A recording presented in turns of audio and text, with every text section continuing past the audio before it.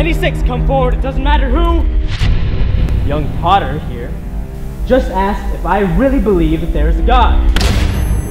Henry, give the man a penny apology. Two cents worth of humility. You're gonna pay up your taxes, Ranger. I wouldn't pay the tithe and tariff to the church, so I signed off from the church.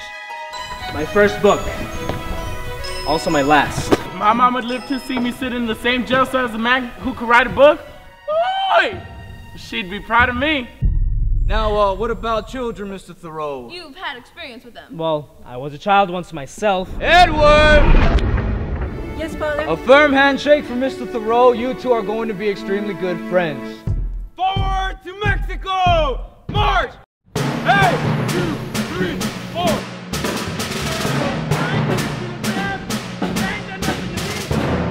Put your hand in the water. It, it's too deep. For the length of your arm, but not for the length of your mind. I cannot comply with custom. There he is, boys! There's the enemy!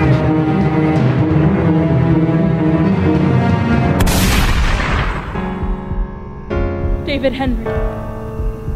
Pray with me. Pray for both of your sons.